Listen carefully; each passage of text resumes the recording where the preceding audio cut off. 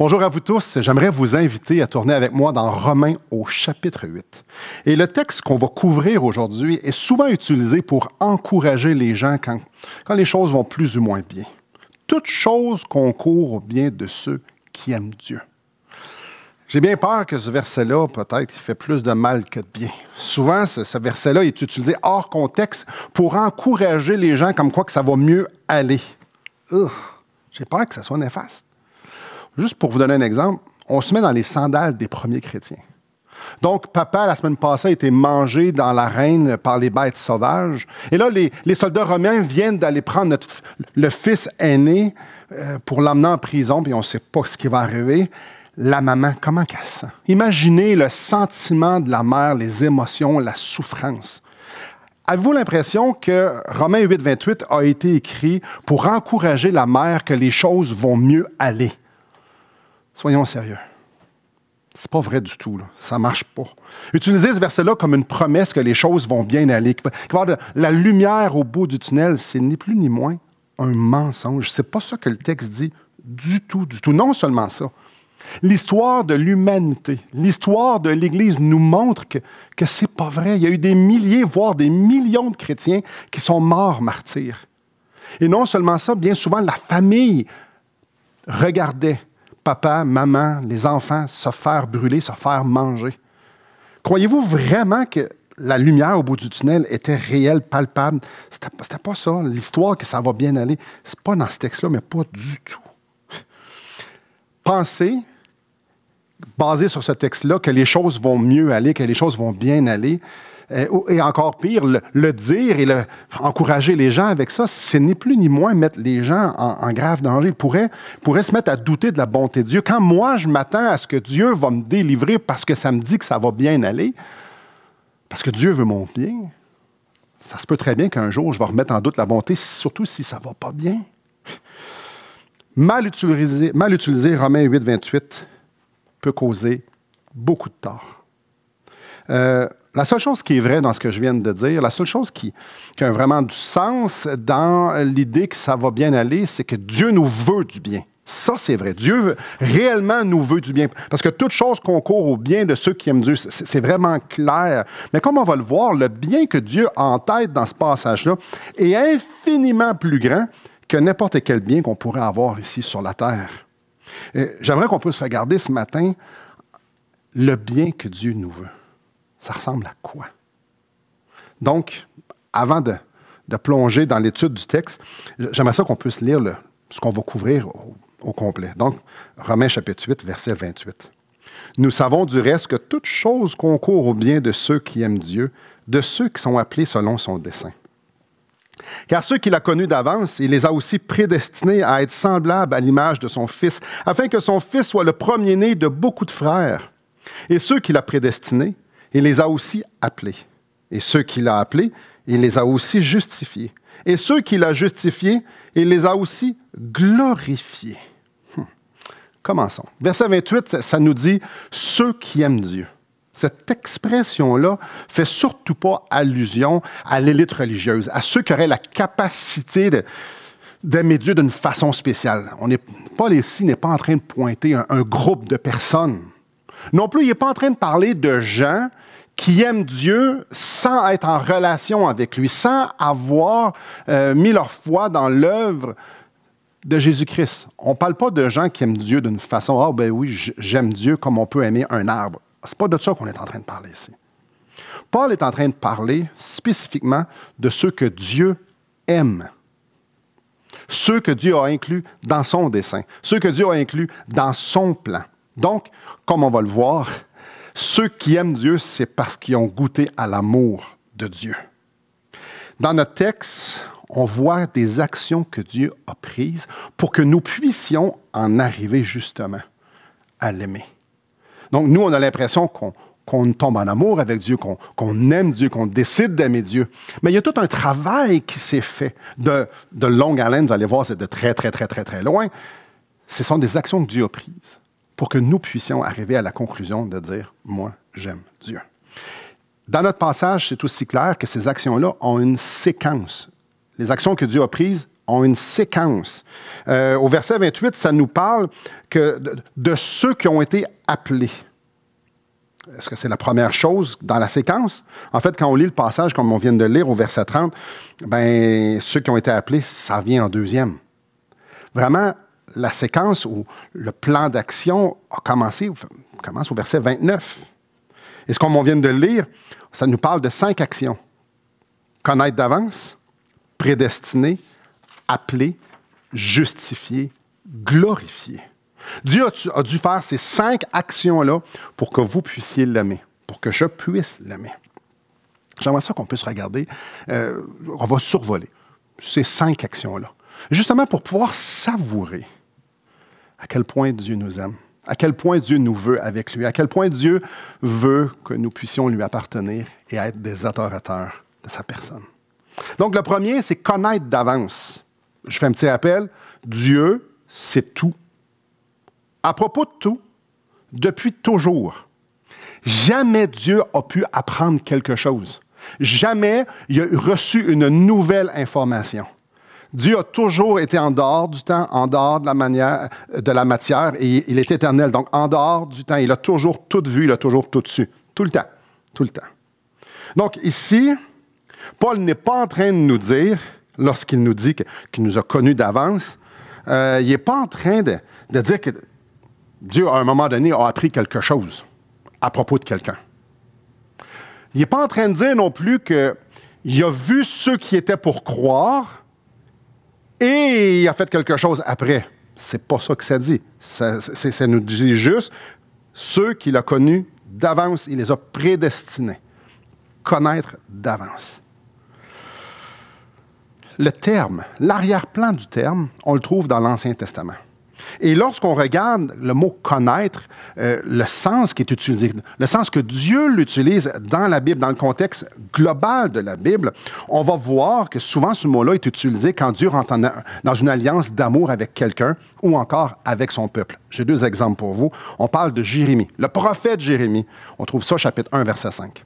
Avant que je t'ai formé dans le ventre de ta mère, donc avant, c'est facile, je te connaissais.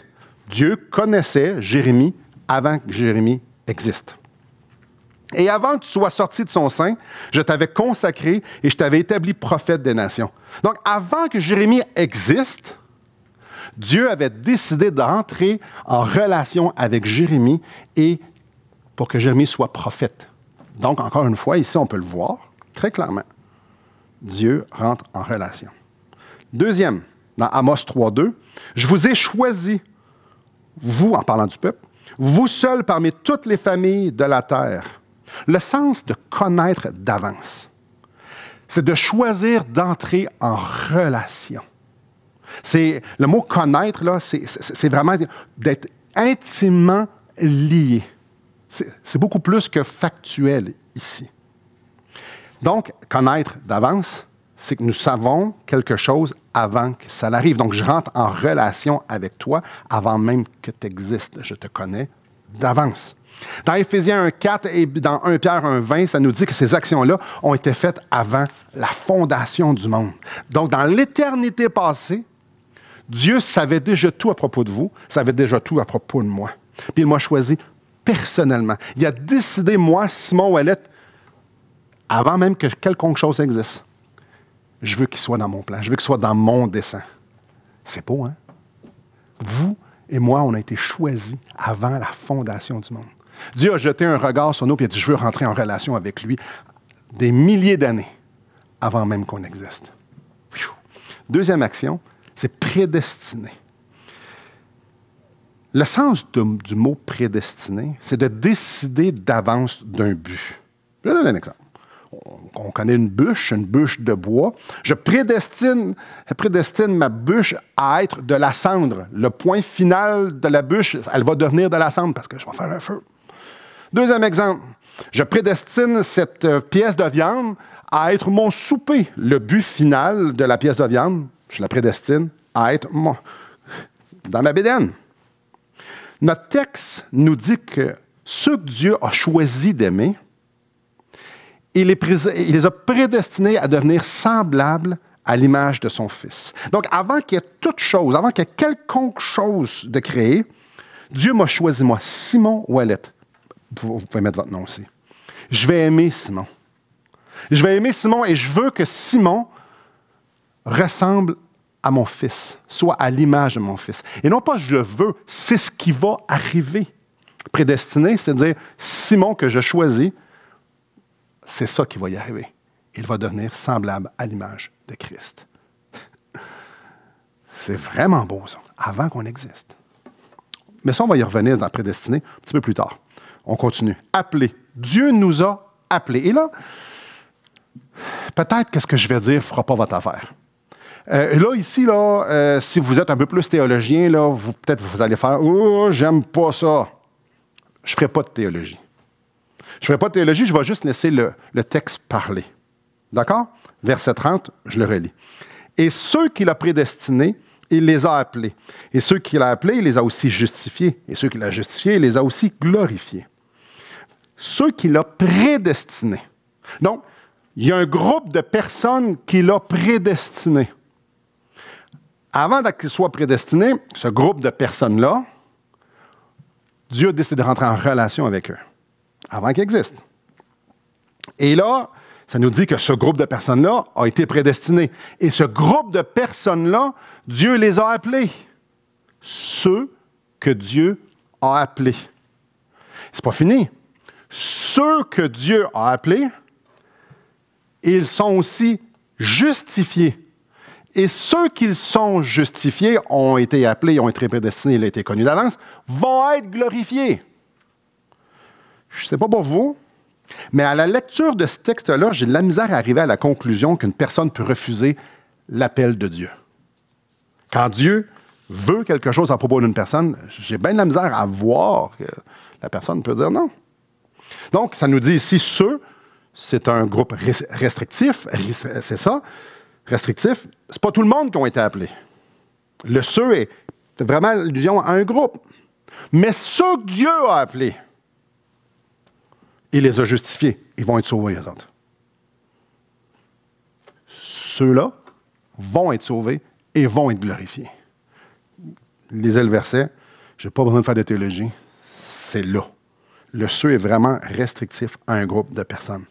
Quand tu es appelé, quand tu as prédestiné, quand tu as été connu d'avance de la part de Dieu, ben, tu vas être justifié.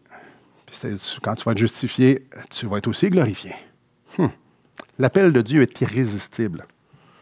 Tu ne peux pas dire non. Dieu, quand il dit, je veux rentrer en relation avec Simon, quand Dieu décrète que je, qu'il voulait que je sois justifié, que je sois sauvé, il n'y a rien qui peut empêcher ça, même pas ma volonté. Ça, c'est extraordinaire. Dieu veut tellement être en relation avec moi, avec vous, qu'il est prêt à forcer ma volonté pour que je dise Waouh, je t'aime, Seigneur. Aïe, aïe. Ceux que Dieu rentre en relation, ceux qu'il prédestine, ceux qu'il appelle, il n'y a pas a pas de changement, il n'y a, a pas une deuxième option. C'est la seule option parce qu'ils vont être sauvés et ils vont être glorifiés. Il n'y a rien qui peut faire dérailler le plan de Dieu. Quand Dieu décrète quelque chose, ça arrive. Encore une fois, voyez-vous à quel point c'est beau? Dieu m'aime tellement qu'il ne me laissera pas dire non. Il sait ce qu'il y a de mieux pour moi. Il sait ce qui est bon pour moi. Il sait à ce et quoi il me prédestine alors il ne me laissera pas dire non. Aïe aïe. Quatrième, justifié. Lorsque Jésus est mort sur la croix, il portait mon injustice, il portait mon péché. Et quand je reconnais que Jésus a satisfait pleinement la justice de Dieu en mourant à la croix pour moi, la parole de Dieu nous dit que la justice de Christ nous est imputée. Elle est mise sur notre compte. Dieu me revêt de la justice de Christ. Donc, devant le juste juge, je deviens juste parce que mon injustice, il y a quelqu'un d'autre qui l'a pris. Il y a eu un échange qui s'est fait. Il a pris mon injustice et j'ai pris sa justice. Dans le plan de Dieu, Là, vous allez voir, c'est beau, ça n'a pas de sens. La mort de Jésus était essentielle. Dans Acte 2, verset 23, ça nous dit, cet homme, en parlant de Jésus, cet homme livré selon le dessein arrêté. Cet homme livré selon le dessein, le plan de Dieu arrêté. Dieu avait décrété. Son plan était fixé.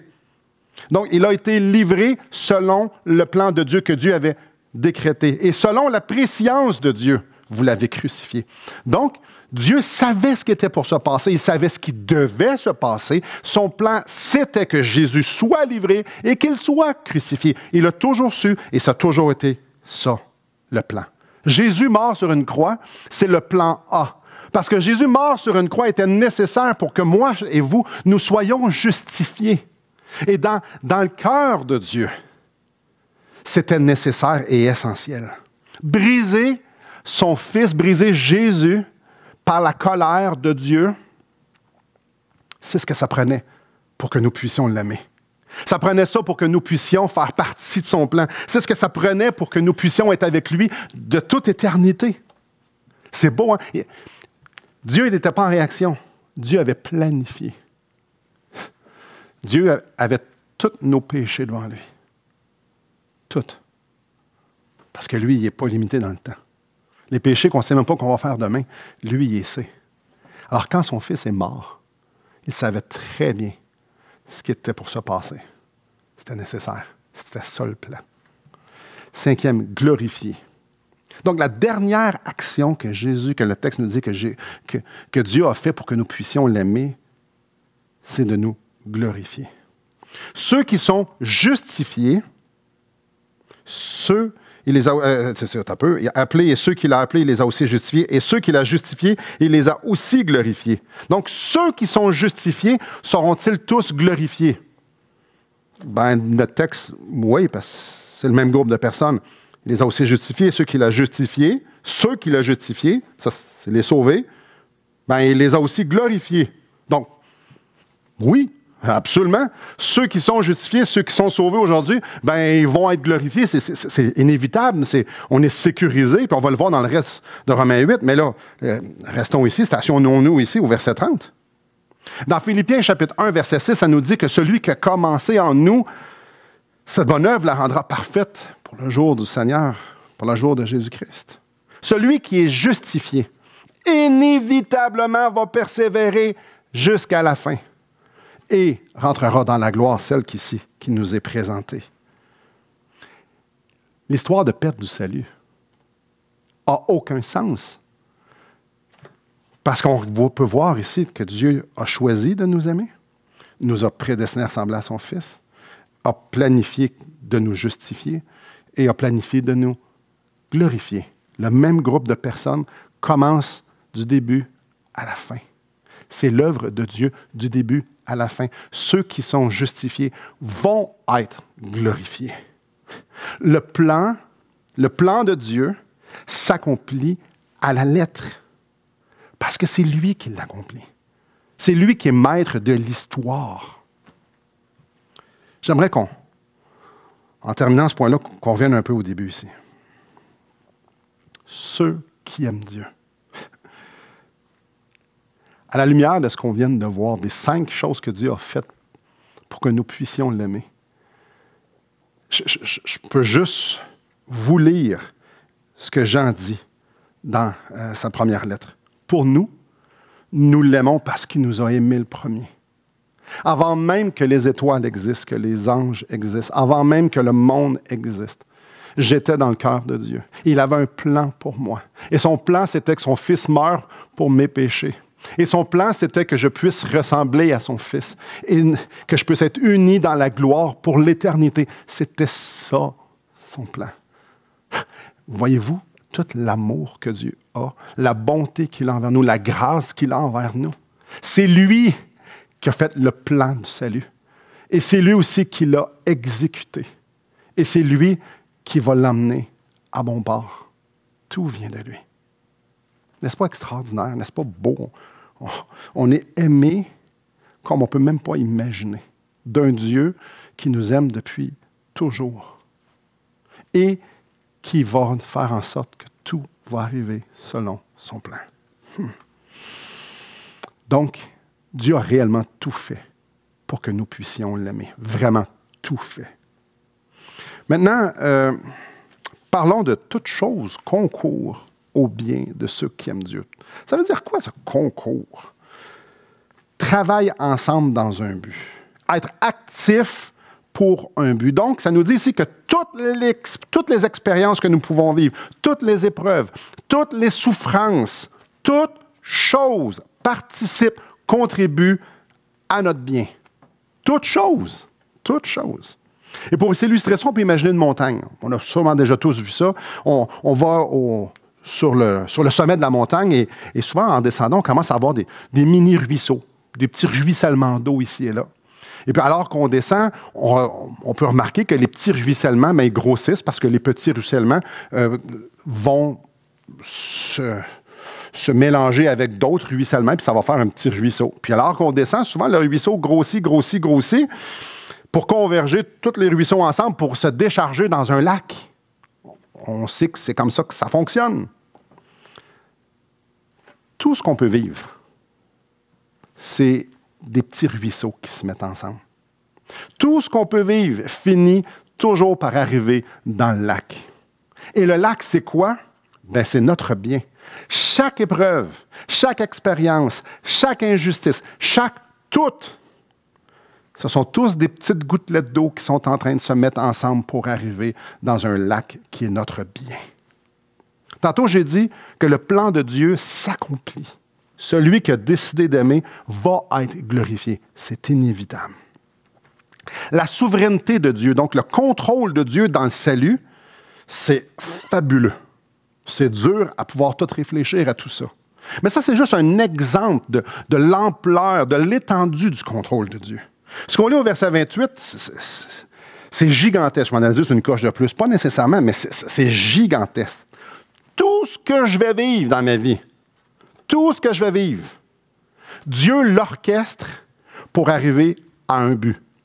Toutes les gens que je rencontre, tous les jours que je vais vivre, toutes les places que je vais aller, toutes choses que mon être va vivre dans le temps que je vais être sur la terre, toutes choses convergent à un seul but. Dieu est en train d'orchestrer toutes choses pour que ça soit profitable pour moi, pour vous. Rien, absolument rien de ce qui va m'arriver est en dehors du contrôle de Dieu. Et peut-être là, vous allez dire, ouais, mais Simon, mon cancer, ou le cancer de mon conjoint ou de mon enfant, Simon, t'en fais quoi de ça? Qu'est-ce que tu fais de mes abus que j'ai reçus? Enfant ou, la semaine passée, ou les injustices que j'ai eues. Il y en a eu tellement eu, ma vie, que c'est rempli d'injustices. Ou, cette douleur, je vis avec la douleur chronique, mais ma dépression, ma maladie mentale. Simon, qu'est-ce que tu es en train de dire là, ici? Le texte est clair. Le texte est clair. Toute chose participe à un but, contribue à un but, mon bien. Donc, Dieu est en train d'utiliser ce que vous êtes en train de vivre ou ce que vous avez vécu. Je ne dis pas ça d'une façon détachée parce que je, sais que parmi nous, il y a plusieurs personnes qui souffrent. Tout ça est en train de contribuer à votre bien tout ce qui m'arrive à mon bien. Oui, oui, mais Simon, ça fait mal. Ça fait mal. Et on a de la misère. On a vraiment de la misère de, comprendre que le bien peut faire mal. Non, le mal, c'est mal. Ça fait mal. Je peux juste penser à si mon épouse meurt, si un de mes enfants meurt, ça fait mal. Comment il peut arriver du bien à ça? Vous savez quoi? on est très influencé par la mentalité occidentale. Qu'est-ce que bien veut dire? Pour nous, bien veut dire, la plupart du temps, c'est que ça va bien aller. Mais ce n'est pas nécessairement que de ça parle ici. Qu'est-ce que, de quel bien que, que Paul parle? Et le bien que Paul parle est au verset 29. Verset 29, ça nous dit il les a aussi prédestinés à être semblables à l'image de son Fils, afin que son Fils soit le premier-né de beaucoup de frères. Le bien dont Paul est en train de parler ici, c'est que nous avons été prédestinés. Le but final, c'est d'être semblable à l'image de Christ. Le but final de Dieu, c'est que nous soyons vivants de la vie de Christ.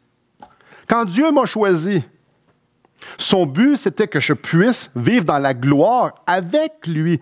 Dieu voulait me glorifier. Il voulait me rendre participant de la gloire en son Fils. C'est ça qu'il voulait. Et clairement, ce texte-là pointe premièrement avec, dans, le but ultime, la glorification de nos êtres dans l'éternité avec Christ. Mais ça ne s'arrête pas là. Dieu ne veut pas juste nous rendre participants de la gloire de Christ demain, lorsqu'on va mourir. Non, non, non. Aujourd'hui. Dans 2 Corinthiens chapitre 3, verset 18, on y lit Nous tous, le visage découvert, reflète la gloire du Seigneur. Nous sommes transformés en la même image, de gloire en gloire par l'Esprit du Seigneur. Aujourd'hui, Dieu est en train d'utiliser ce que vous faites aujourd'hui ce que vous vivez aujourd'hui, que ce soit à l'intérieur ou à l'extérieur, pour vous transformer, pour me transformer. Ça nous dit ici que nous sommes transformés en la même image, l'image de Jésus-Christ, de gloire en gloire, par l'Esprit du Seigneur. Christ est en train d'être formé en nous, présentement, de gloire en gloire. Pas parfaitement, parfaitement, ça c'est au ciel. Mais on s'en va vers le ciel, on s'en va vers la présence de Dieu. Donc, il est en train tranquillement, pas vite, de former Christ en nous. Même dans les pires épreuves. Euh, un passage qui est dur à lire, dur à comprendre. 2 Corinthiens, chapitre 4, verset 17. En effet, nos légères difficultés du moment présent produisent pour nous, au-delà de toute mesure, un poids éternel de gloire. Pourquoi que je trouve ça difficile? Paul est en train de parler ici de nos légères difficultés.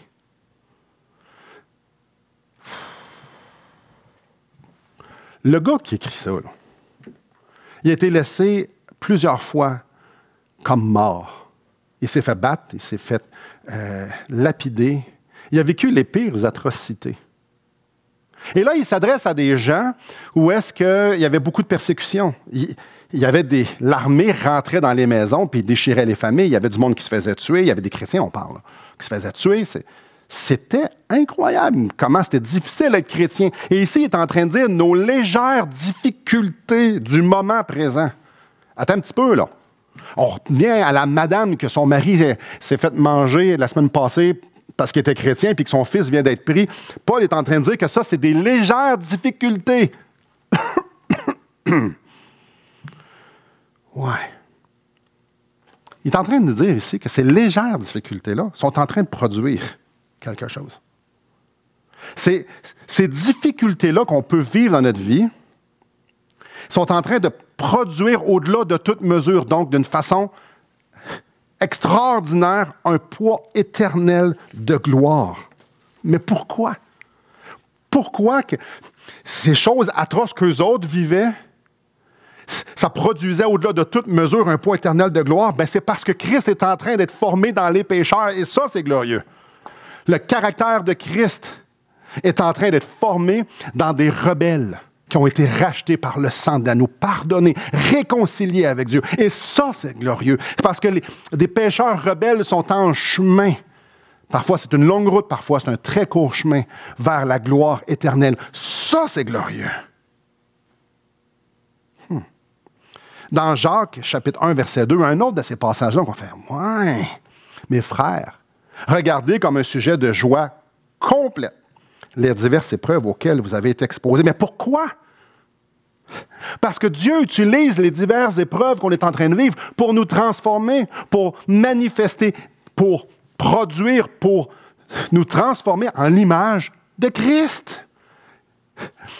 Nos épreuves Dieu les utilise pour manifester son Fils en nous. Et ça, on devrait regarder ça comme un sujet de joie complète.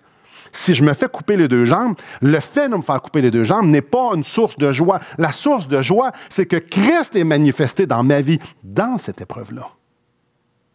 Hmm. Wow! Dieu fait converger toutes les expériences de nos vies pour nous rendre semblables à Christ. Dieu est en train de faire ça présentement dans ma vie, dans votre vie. Si vous êtes un enfant de Dieu, tout ce que vous êtes de vivre, tout ce que vous avez vécu pointe vers une direction. Former Christ en vous.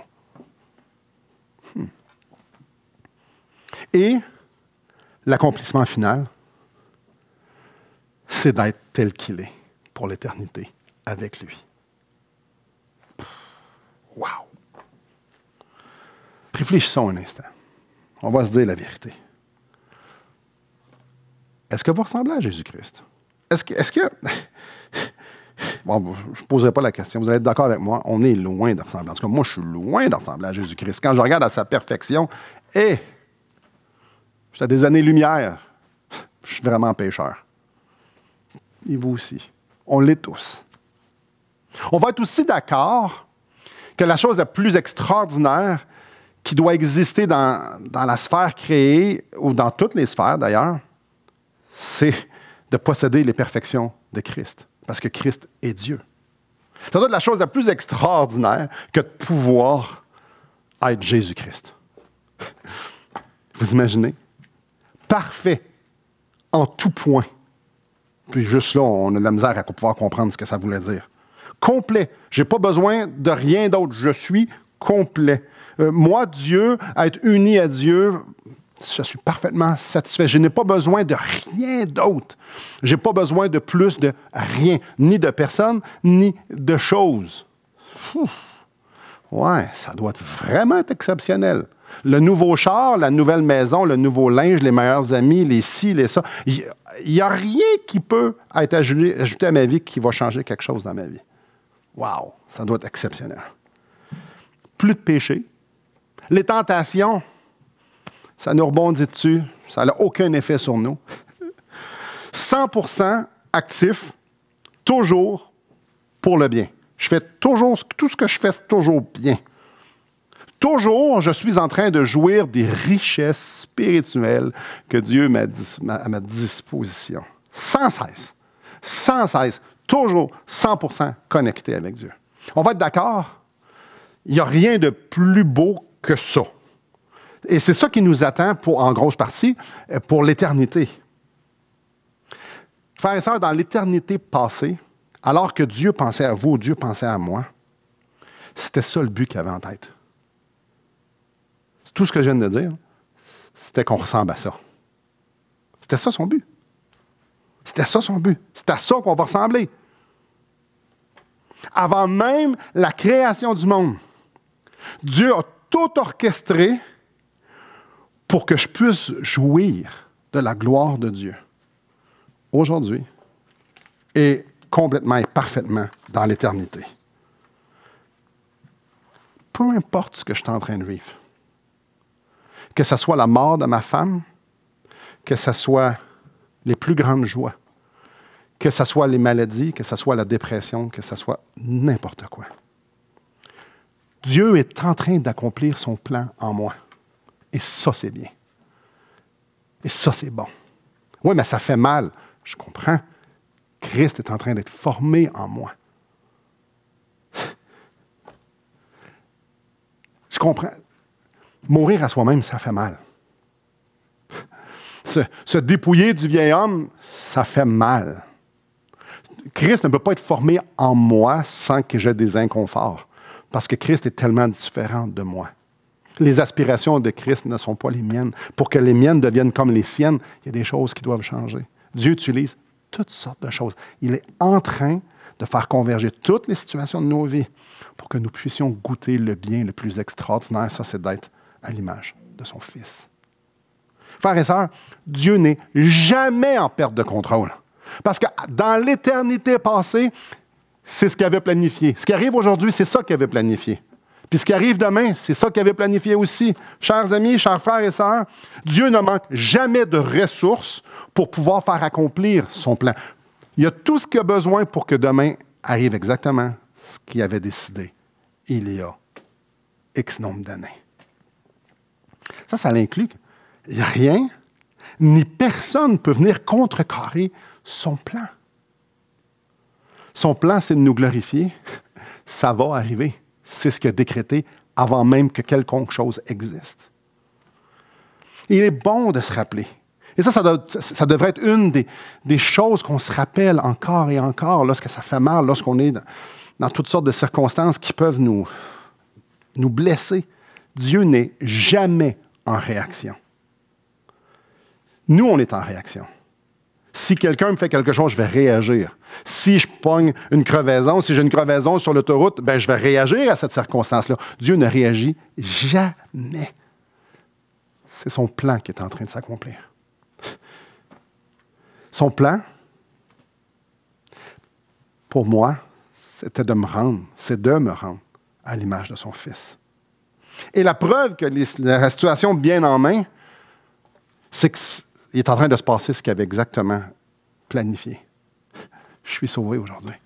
Aujourd'hui, je suis justifié. Savez-vous pourquoi? Parce que j'ai répondu à son appel. Et Christ est en train d'être formé en moi parce qu'il m'avait prédestiné à être à l'image de Christ. Il est en train d'arriver exactement ce qu'il avait planifié. En vous aussi. Quand tu écris la fin de l'histoire, réfléchissez à ça. Quand tu écris la fin de l'histoire, c'est parce que tu es au contrôle de l'histoire au grand complet. La fin de l'histoire est écrite. Alors, il est juste en train d'arriver ce que Dieu veut qu'il arrive. La fin de l'histoire ne changera pas. Oui, mais elle ne fait peut-être pas notre affaire, ça fait mal. Oui, mais c'est pour notre bien. Il est en train de, le produire en nous. En conclusion, alors que ça va mal, ça arrive parfois que ça va mal. Parfois, ça va très, très mal. Alors que ça fait mal, ça arrive. Parfois même, ça fait très, très, très mal. Je vais vous dire la vérité.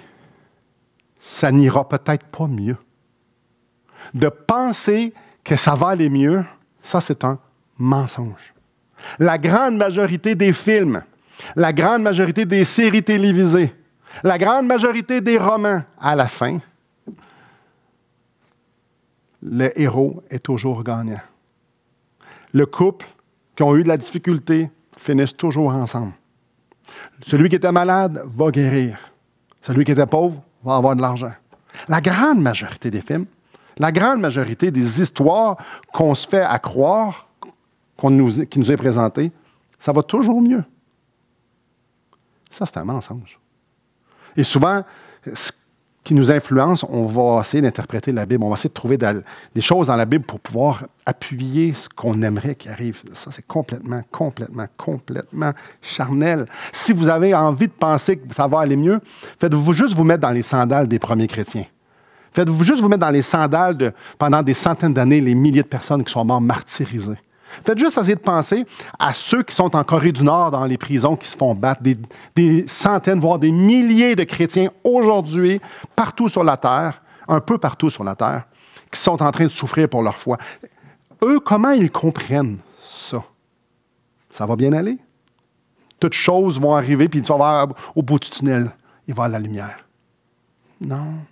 Non, non. Peut-être. Mais ce n'est pas une garantie, puis on ne retrouve pas de promesse là-dedans. Non, non, non, dans la Bible, pas du tout. Une chose est certaine. Venez avec moi Romains 8, verset 18. J'estime que les souffrances du temps présent, et on en a déjà assez parlé, c'était des grosses souffrances, ne sauraient être comparées à la gloire à venir qui sera révélée pour nous. Alors j'aimerais nous encourager. J'aimerais vous encourager. Et avec un cœur qui, comme je vous dis, je suis conscient que je dis ça à des gens qui sont en train de souffrir présentement. Il y a des gens parmi nous qui souffrent. Au lieu de vouloir sortir tout de suite de notre inconfort, au lieu de vouloir que tout de suite tout se règle, puis tout aille bien, on veut que ça aille bien. J'aimerais vous inviter, j'aimerais m'inviter à se soumettre, à se soumettre à la bonne main de Dieu si je veux que Christ soit formé en moi, si je veux que Christ soit manifesté en moi, si je veux goûter à la gloire éternelle que je vais avoir sur la terre, alors je devrais laisser Dieu agir. Je devrais laisser Dieu peut-être me guider dans cet inconfort-là. Et peut-être que dans notre tête, ça n'a aucun sens qu'on est en train de vivre. Peut-être que c'est complètement injustice. On ne sait pas c'est quoi les plans de Dieu. On ne sait pas ce qu'on a besoin réellement pour que Christ soit formé en nous, parce qu'on n'est pas Christ. Le timing, on ne le sait pas non plus, c'est quand les bonnes choses. Mais Dieu le sait. Alors nous, tout ce qu'on a envie de faire, c'est Hey, Dieu, enlève ça, enlève cet inconfort-là, enlève cet inconfort-là. Quand lui nous dit ben, je suis en train d'utiliser cet inconfort-là pour toi, pour ton bien. Tu es sûr que tu veux que je l'enlève? ça va être pour ton bien.